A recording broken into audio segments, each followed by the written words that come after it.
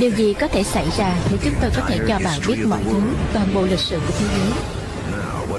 Giờ giờ chúng tôi có thể nói với bạn là chúng tôi có thể làm điều đó chỉ trong 2 giờ đồng hồ. Chúng tôi sẽ kể lại toàn bộ câu chuyện từ vụ nổ Big Bang cho tới thời đại ngày nay. Và hành tinh này đã chuẩn bị cho sự xuất hiện của loài người như thế nào?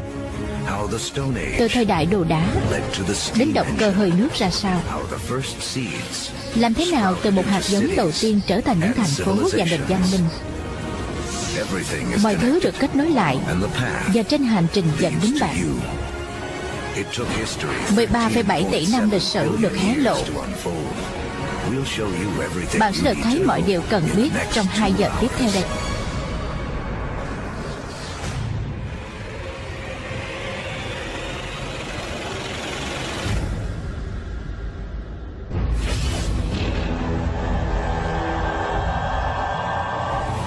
mười ba phẩy bảy tỷ năm trước. Đây là vũ trụ của chúng ta thuở sơ khai. Mọi thứ đã từng tồn tại. mọi thứ đã từng xảy ra. Tất cả bắt đầu từ đây trong một bọc năng lượng cực nhỏ. Nó nhỏ hơn cả một nguyên tử. Và ngay bây giờ lịch sử mà chúng ta đã biết bắt đầu đầy bí ẩn vì nguyên nhân mà chúng ta có lẽ sẽ không bao giờ biết được. vũ trụ đột ngột nổ tung.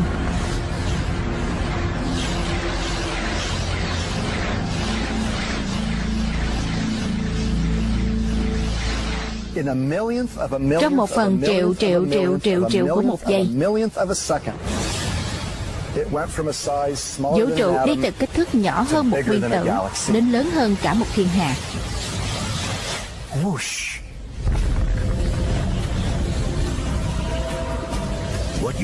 những gì bạn đang nhìn thấy là năng lượng. Và nó là chìa khóa để hiểu được mọi thứ sẽ được hé lộ trong 2 giờ tới. trong vòng một phần lớn rất nhỏ của một giây Big Bang đã tạo nên tất cả năng lượng sẽ tồn tại sau này. Tất cả năng lượng sẽ thắp sáng các ngôi sao và sẽ là nhiên liệu cho bất kỳ vật thể sống. Tất cả năng lượng mà bạn sẽ sử dụng có từ sự bắt đầu của thời gian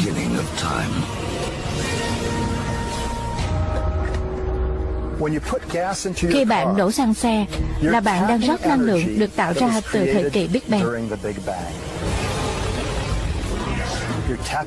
bạn đang rót năng lượng của chính vũ trụ.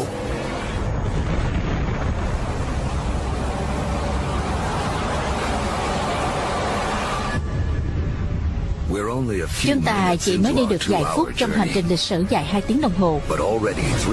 Nhưng 380.000 năm đã trôi qua Bạn đang chứng kiến sự ra đời của tổ tiên đầu tiên của chúng ta. Nguyên tử đầu tiên.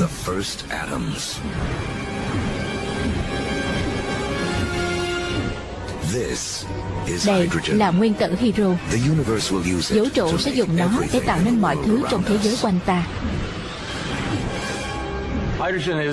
Hero giống như là một đội bóng chày Và bạn sẽ nói Tôi muốn bắt đầu đội bóng của mình Bằng cầu thủ nào đây nếu tôi muốn khởi đầu một vũ trụ, Tôi muốn làm điều đó với hydro. Bởi vì từ nó, Rất nhiều nhiệt và áp suất Và có thể tạo nên nhiều loại nguyên tử hơn. Những nguyên tử đầu tiên thổi tung xuyên qua vũ trụ thổi ban đầu. Và thật may cho chúng ta, Những nguyên tử không trải đều ra, Bởi vì trong những túi nhỏ này Với nhiều nguyên tử hơn. Lực hấp dẫn Nhà điều khắc chỉ đại của vũ trụ thổi sơ khai. Đã bắt đầu công việc ma thuật.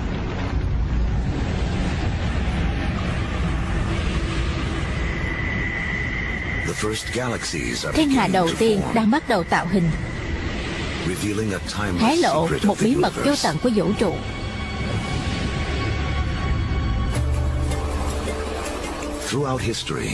Suốt lịch sử, bất cứ khi nào vật chất và năng lượng hơn được kéo lại với nhau tại một điểm, thì nhiều thứ phức tạp hơn có thể xuất hiện.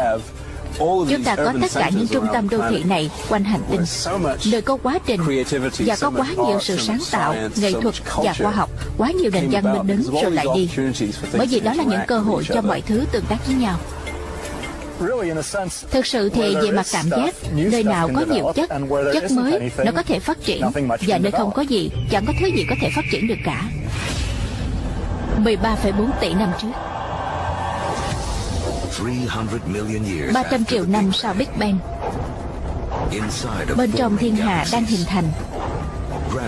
Lực hấp dẫn tiếp tục nén những đám mây khí và bụi lại với nhau Tạo nên áp suất và nhiệt cực lớn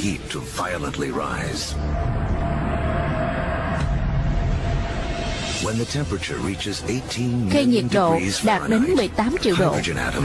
Nhưng mà nguyên tử hydro kết hợp lại với nhau tạo nên một nguyên tố mới đó là heli và phát xạ ra năng lượng. Những ngôi sao đầu tiên ra đời. Đột nhiên có ánh sáng mới chiếu vào phía trước Bắn năng lượng vào vũ trụ. Đó là ánh sáng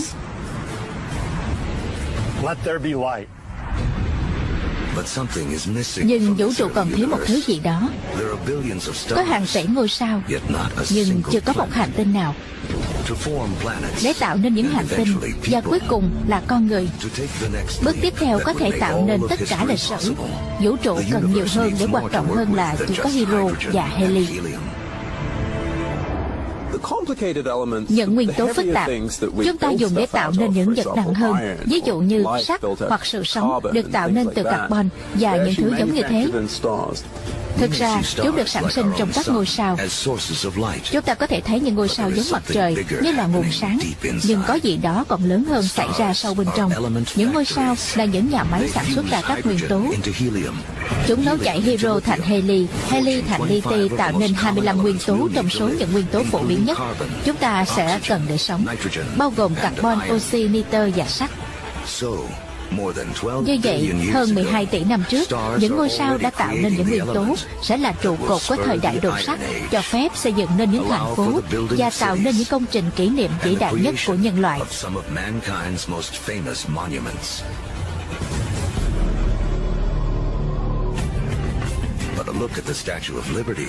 Nhưng hãy nhìn tượng nữ thần tự do hé lộ thách thức tiếp theo đang chờ đợi vũ trụ thuở sơ khai. Trong khi khung của bức tượng là bằng sắt, lớp vỏ của nó đòi hỏi một nguyên tố quá nặng để được tạo nên những ngôi sao.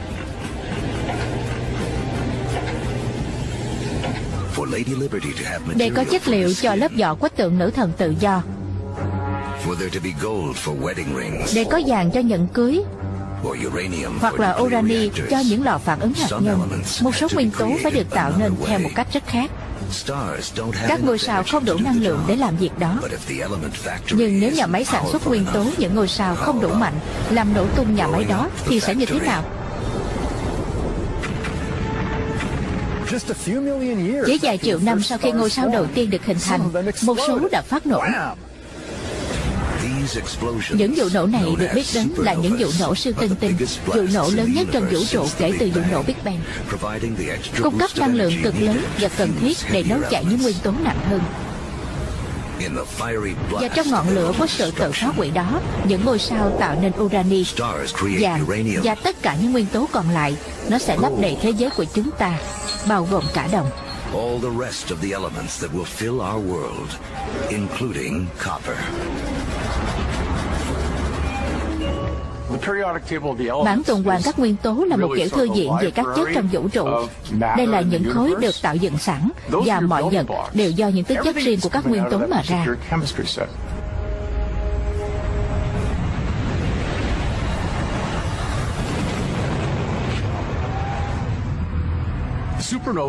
Siêu tân tinh hoàn toàn cần thiết cho chúng ta tồn tại ở đây. Bạn biết đấy, chúng ta có sắt ở trong máu. Bởi vậy chúng ta có một ít của siêu tinh tinh trước đây lơ lửng quanh chúng ta. Chúng ta đều là bụi của các ngôi sao. Đồng và thiết, thời đại đồ đồng. Nếu không có những siêu tinh tinh sẽ không có thời đại đồ đồng. Đến bất kỳ một siêu thị nào và mua một Multivatium thì nhìn vào thành phần của nó, bạn sẽ nhìn thấy đồng, nhìn thấy kẽm và thấy cả selenium. Bạn sẽ tìm thấy tất cả các loại nguyên tố đều có thể được tạo thành bởi một siêu tinh tinh. Những nguyên tố tạo bởi những ngôi sao sẽ trở thành những hạt giống ương mầm sự sống trên trái đất và chi phối lịch sử nhân loại. Nhưng mà hành trình chỉ mới bắt đầu Trước khi có thể có sự sống, vũ trụ phải tạo dựng cho chúng ta một ngôi nhà thích hợp.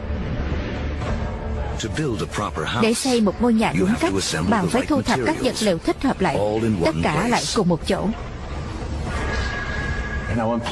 Nó cũng giống như là khi định hình nên một hành tinh. Nó là những chất liệu bạn có trong tay Để tạo nên một ngôi nhà như là hành tinh của chúng ta như bây giờ để có đủ vật liệu thích hợp vào đúng chỗ thì phải mất một thời gian dài. Trên 8 tỷ năm, hơn một nửa lịch sử mà chúng ta biết, những nhà máy sản xuất nguyên tố tiếp tục hoạt động. Những ngôi sao nổ tung và hồi sinh. Mỗi thế hệ với những nguyên tố nặng hơn trước cho đến 4,6 tỷ năm trước đây. Cuối cùng cũng có đủ vật chất cho bước tiếp theo trên hành trình đến chúng ta.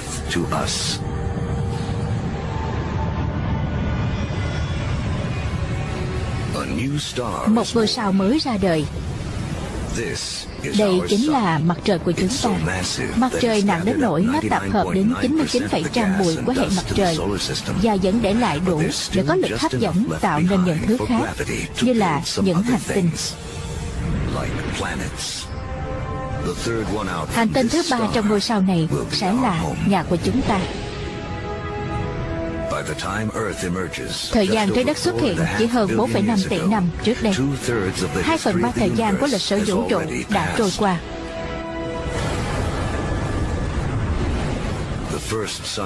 Cảnh bình minh đầu tiên trên hành tinh, trái đất quay nhanh đến mức một ngày trôi qua chỉ có 6 giờ.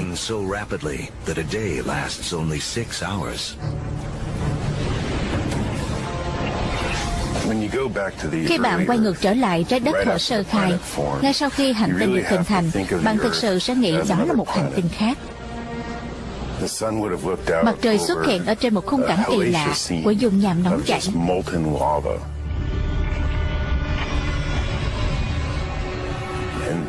Và trong nơi này, bạn sẽ thấy một lượng lớn đá đen của núi lửa.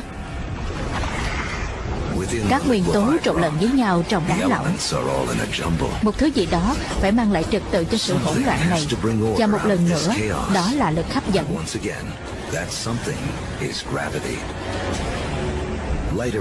Những chất nhẹ hơn nổi lên trên bề mặt và hình thành lớp vỏ cứng. Trong khi những chất nặng hơn chìm xuống vùng trung tâm tạo nên một loại niken sắt nóng chảy. Thứ kim loại lỏng bị khuấy trộn này tạo nên một từ trường vượt ra ngoài không gian, giống như là một trường lực. Nó sẽ bảo vệ ngôi nhà tương lai của chúng ta khỏi những hạt mang điện chết người từ mặt trời. Và chẳng bao lâu, từ trường này sẽ cho phép sự sống phát triển và sau đó dẫn đường cho những nhà thám hiểm, những người sẽ kết nối hai nửa thế giới lại với nhau. Nhưng mà để tất cả điều này diễn ra, trái đất sẽ cần một người bạn quan trọng.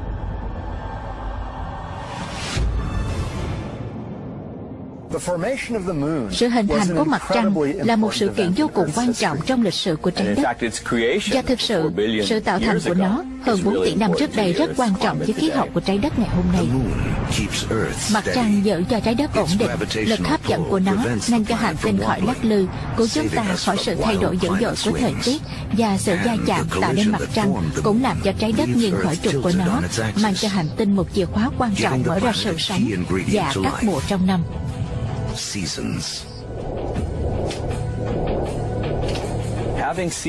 Việc có các mùa trong năm là rất quan trọng cho sự tiến hóa của sự sống trên trái đất và có sự ổn định của độ nghiêng của trục. Và điều đó cũng cực kỳ quan trọng cho việc duy trì sự sống trên trái đất.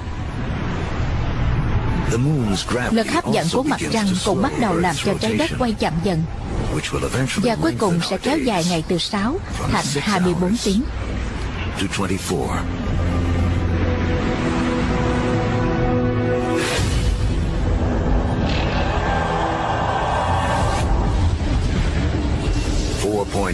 4,4 tỷ năm trước đây.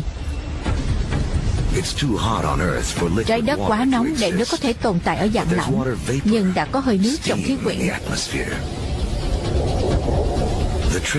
Bí quyết là làm thế nào để tách được nó ra. Trong bất kỳ thế giới nào mà bạn hy vọng có sự sống, thì phải có một cơn mưa nhỏ rơi.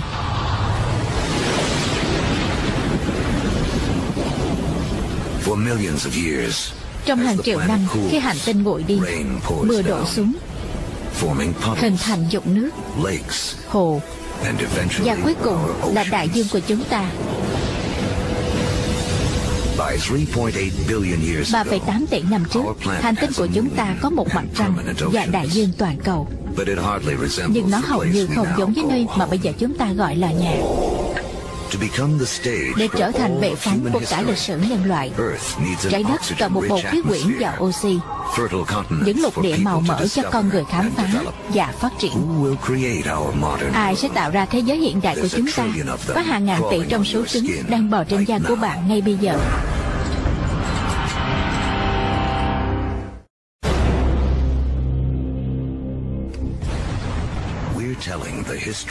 Chúng tôi đang nói về lịch sử của thế giới trong 2 giờ, từ vụ nổ Big Bang cho tới ngày nay. Và thế giới hiện đại của chúng ta đang nắm giữ một manh mối quan trọng của một câu chuyện. Và thực tế, những cấu trúc giống như thế này ẩn chứa một mắt xích bí ẩn liên quan đến sự sống đầu tiên trên trái đất.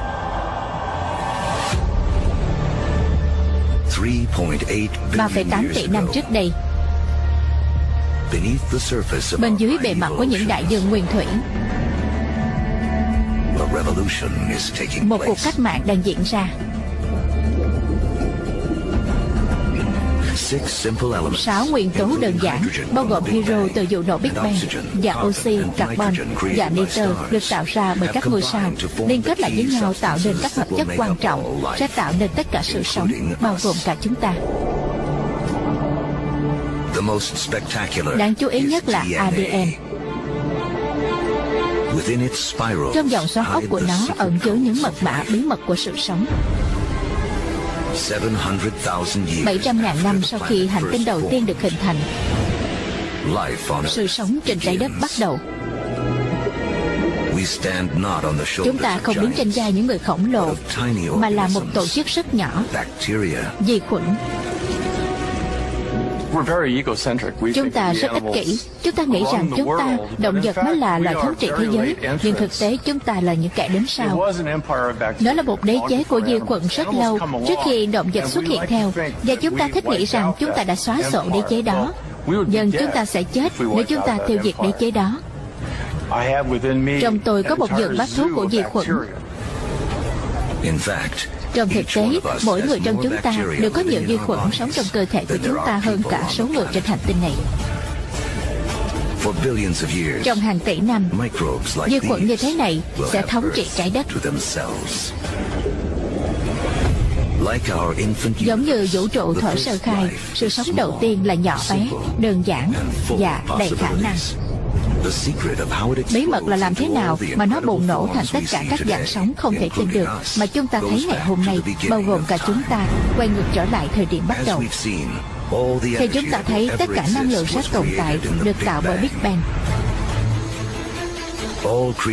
Tất cả các sinh vật cần phải lấy năng lượng này để có thể tồn tại Chúng ta càng khai thác, chúng ta càng sử dụng nó hiệu quả hơn, chúng ta càng trở nên phức tạp hơn. Và hầu hết năng lượng mà chúng ta chia sẻ cùng nhau từ vụ nổ Big Bang được chiếu đến từ chúng ta, đó là mặt trời. 2,5 tỷ năm trước, một số loại vi khuẩn rất đặc biệt đã tìm ra cách sử dụng năng lượng mặt trời để sống. Trong quá trình làm điều này, chúng đồng thời cũng tạo ra chất thải quan trọng nhất trong lịch sử nhân loại. Oxy Chẳng bao lâu sau, oxy sẽ tạo nên một thế giới mới. Nhưng đầu tiên, nó có một việc quan trọng khác cần phải làm. Các đại dương của trái đất thời cổ đại chứa đầy các phân tử sắt và mọi người đều biết rằng điều gì xảy ra khi oxy gặp sắt. Ở đây tôi là một vi khuẩn nhỏ bé. Tôi vừa tạo ra một phân tử oxy này. Và đây là một mảnh rất lớn sắt kết thành khối. Tôi sẽ làm nó rỉ Những rỉ sắt tích tụ ở trên đáy biển. Hàng tỷ năm sau đó, những mỏ lớn này sẽ tăng lên, trở thành nguồn gốc chủ yếu của sắt và thép trên thế giới sau này.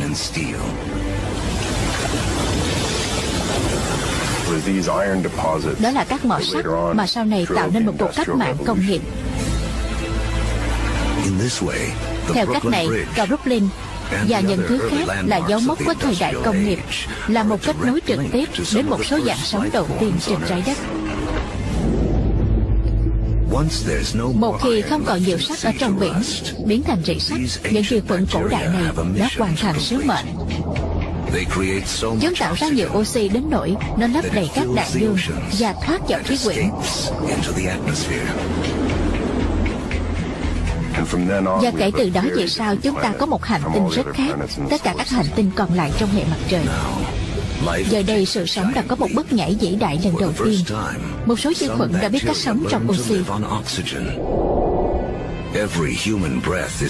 Từng hơi thở của một con người là một nghi thức 2,5 tỷ năm tuổi Cuộc sống có xu hướng gắn bó với những gì hoạt động, thậm chí trong quá trình hàng tỷ năm. Oxy là kẻ thay đổi cuộc chơi bằng cách chế ngự sức mạnh của nó. Sự sống đã tìm thấy một phương pháp tốt hơn để tự cung tự cấp năng lượng, hiệu quả hơn 20 lần bất cứ thứ gì được sử dụng trên trái đất trước đây. Những gì sự sống đã làm với loại năng lượng mới này sẽ là câu chuyện dẫn đến chúng ta.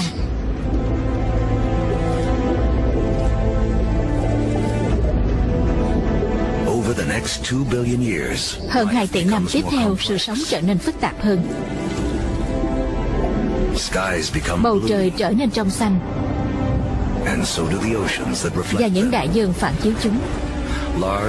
Những lục địa rắn và rộng lớn xuất hiện. Trái đất bắt đầu trông giống như nhà của chúng ta hơn.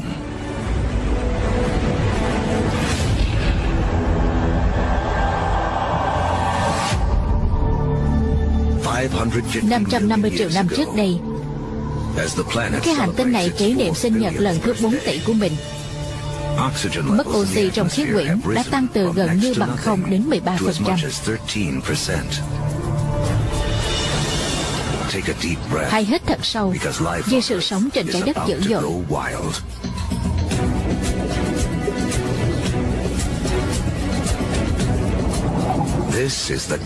Đây là sự bùng nổ ở kỷ Cambrian, một phiên bản sinh học của vụ nổ Big Bang. Ngay sau khi bạn có một lượng oxy dồi dào, bạn sẽ có được kích thước và độ phức tạp và oxy sẽ giúp bạn làm điều đó. Đoạn hấp dẫn này nằm trong khoảng 30 triệu năm, bao gồm hầu hết các nhóm động vật chính. 5 triệu năm trước, lần đầu tiên cá có xương đã phát triển ở các vùng biển. Những con cá này là tổ tiên trực tiếp của chúng ta.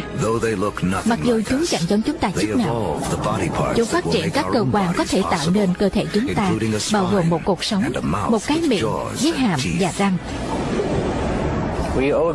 Chúng ta có một món nợ lớn với tổ tiên cá của chúng ta.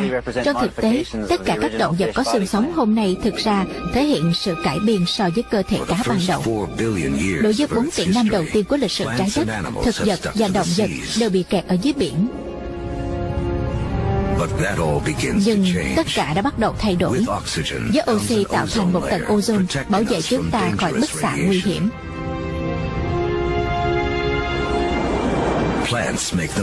Thực vật đã đi những bước đi đầu tiên.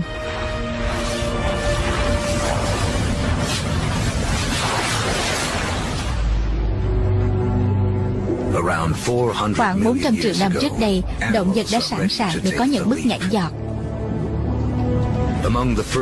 Động vật lưỡng cư là một trong số những loài sống trên bờ đầu tiên mà chúng ta là một trong những hậu duệ của chúng.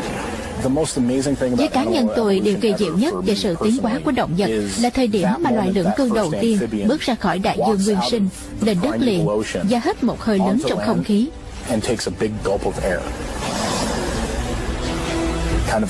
Giống như là một người ông cực kỳ vĩ đại ra khỏi đại dương và ngắm nhìn thế giới tuyệt vời này. Và nó giống như là này, tôi có thể sống ở đây. Hãy nhìn những cây này đi Hãy nhìn những côn trùng này. Có thức ăn ở đây Tôi có thể làm được điều này. Cuối cùng, con người sẽ chinh phục tất cả mọi vùng đất có thể tưởng tượng được. Nhưng trước khi chúng ta có thể làm được điều đó, trước tổ tiên của chúng ta phải cắt bỏ sợi dây cuối cùng gắn kết với nước. Mùa giao phối. Giống như loài ếch hiện đại, chúng bị đông lại, giống như trứng sẽ bị khô khi ở trên mặt đất. Nhưng có một số loài lượng cư cuối cùng cũng giải quyết được vấn đề. Chúng tiến hóa một dạng trứng mới với lớp vỏ giữ độ ẩm ở bên trong. Và điều đó đã cho phép chúng ta mang được đại dương lên đất liền Và nó báo hiệu sự tiến hóa của động vật lượng cư thành loài bò sát bạn có thể ở cách xa nước 300, 400, 500, 1000 dặm Dần dần có nước trong trứng để sinh. Đó chính là chìa khóa. Nó cắt bỏ mối liên hệ cuối cùng với đại dương. Bằng cách đó chúng ta có thể định cư trên phần đất còn lại của đất liền